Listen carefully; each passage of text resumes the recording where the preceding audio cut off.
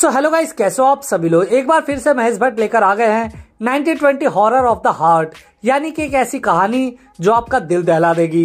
ये 1920 का तीसरा पार्ट है, और इस फ़िल्म में हमें कोई बड़ी कास्ट देखने को नहीं मिल रही है, लेकिन फिर भी ट्रेलर देखकर आपको डर ज़रूर महसूस होगा। फ़िल्म थोड़ी डार्क ज़रूर है, लेकिन ट्रेलर से ऐसा लग रहा है कि फ़िल्म में सस्पेंस थ्रिल और हॉरर का अच्छा तड़का लगाया हुआ है।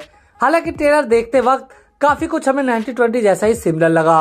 लेकिन जितना ट्रेलर देखकर कहानी समझ आई, वो काफ़ी इंटरेस्टिंग लग रही है, जिसमें एक हवेली और एक लड़की आई है किसी को बर्बाद करने। लेकिन उसके कंधे पर बंदूक कोई बुरी आत्मा चला रही है। अब आखिर इसके पीछे क्या राज है, ये तो फ़िल्म देखने के बाद ही पता लगेगा। लेकिन इसमें जितने हॉरर सीन दिखाए गए हैं, वो काफ़ी अच्छे लग रहे हैं। काफ़ी ज़्यादा डार्कनेस और हॉरर आपका दिल दहलाकर रख देगा।